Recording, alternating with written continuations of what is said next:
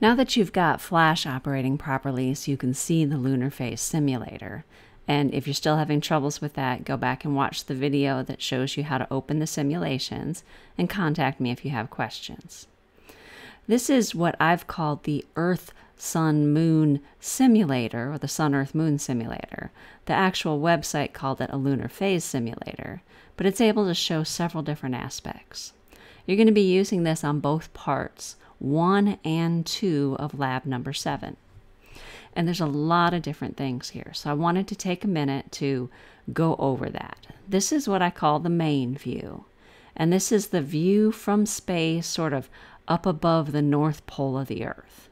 This is your little person on the Earth, and this is your moon. And the sunlight is coming in here from the side. So the sun's way over here off the side. It's not really fully to scale here, showing you the distance between the um, Earth and the Moon, and the person is definitely not to scale, but it's in order to show you things. Down here in this corner, we have the horizon diagram. It's going to show it to you more from the person's perspective. We don't notice the Earth rotating, but we notice the sun and the moon moving across the sky. And up here in this area is the moon phase view that you'll be using mostly in part two. So there's a few controls that you want to have. So first of all, to start the animation going, you can rotate through here and it's going to show you things and you're going to have things moving in all of these different views at the same time.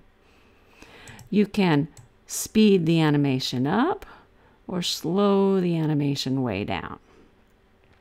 You can also increment it one day at a time, or one hour at a time, or one minute at a time.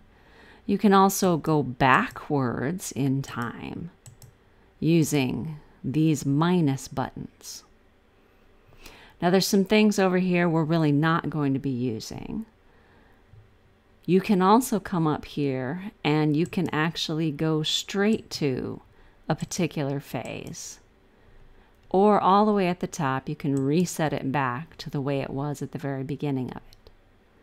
If you have any difficulties understanding how to use any of these controls or where to look for specific information, please contact me. As you work through the lab, you'll be doing several different things, but if something's not making sense, feel free to contact me to get some additional help.